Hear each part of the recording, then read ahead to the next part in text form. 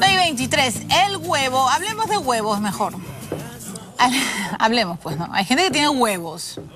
Sí. ¿Por qué? Porque el huevo es muy rico en proteínas. Está presente en muchos platos. Pero hay todo una suerte de rumores. ¿Por qué se ríen cuando hablo de huevos? Ah? Hay una suerte de rumores si tienes que comer uno, dos, tres, cuatro, cinco, si tienes que comer revueltos, pasados, fritos, estrellados, en omelette, ya, con clara, sin clara, no, con clara no, sin yema, con, no, ya, todo un desbarajuste. Miren, yo yo creo que es uno de los mejores alimentos, indudablemente, pero vamos a ver este informe. Eh, un especialista analiza, por supuesto, el uso diario del huevo en la dieta. En el desayuno y en el almuerzo, hasta en el postre. En nuestro trago bandera, en cremas y hasta para el cabello.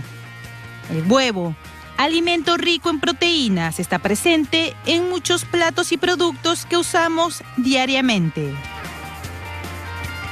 ¿Quién no ha disfrutado un pan con huevo frito en el desayuno? ¿O almorzado un rico ají de gallina acompañado con un huevo sancochado? Y es que su uso en la cocina es infinito. Por ello nos preguntamos, ¿qué tiene este alimento que lo convierte en el rey de la cocina? Y que ha empujado hasta el propio congresista Kenji Fujimori a emprender un negocio con su venta. Bueno, el huevo es un excelente alimento. Nos da a través de las claras proteínas de alto valor, que quiere decir que se absorben muy bien y que son proteínas completas. Eh, y a través de la yema tenemos también grasas que nos van, a, nos van a beneficiar. Por otro lado, tenemos vitaminas del tipo A y D, sobre todo en el huevo, que son buenísimas y vienen en la yema. Y tenemos vitaminas del complejo B, sobre todo en la clara. Entonces tenemos un alimento súper completo. Solo las claras y no las yemas, solo niños y no adultos, son preguntas recurrentes que nos hacemos a la hora de consumir este alimento tan versátil. Un conflicto que no tiene mucha luz para las claras, pues los expertos indican que puede comerse de forma ilimitada. Otra es la situación que se vive con la yema, pues se le ha creado una mala fama por lo que contiene como le indica la nutricionista Melissa Paz. El problema es el exceso, tanto en niños como en adultos. ¿no? Lógicamente, si un niño también come bastantes yemas a la semana, lógicamente también puede tener problemas de colesterol. Por ejemplo, eh, se trata de una persona que no consume muchas carnes rojas, puede comer más de 3 a 4 huevos a yemas a la semana, porque lógicamente su dieta casi no va a tener ningún tipo de grasa saturada.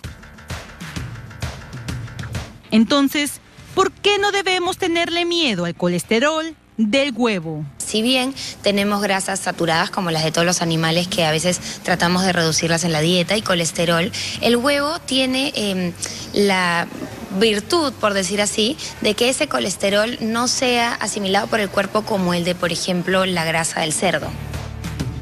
Copiar las dietas de otras personas o acudir a Internet para saber cómo consumir este producto es caer en un error garrafal, pues el régimen de alimentos que necesita cada ser humano no es el mismo.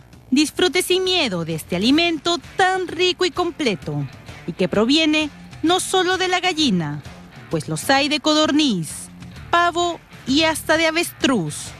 Alimentos que nos darán buenos resultados, siempre y cuando vayan de la mano de un especialista. Bueno, ahí está, el huevo tiene que estar presente, por supuesto, con muchas variantes.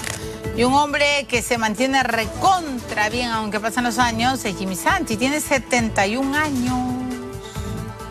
¿Es correcto? Es correcto. ¿Y usted come huevos? Eh, en esta dieta que últimamente me han dado, no. Antes sí. ¿Y qué, cómo te mantienes tan bien? Eh, eh, ejercicios, Ejercicio. Con dietas y aparte. Ya me voy a la pausa. Pero, Me voy a la pausa con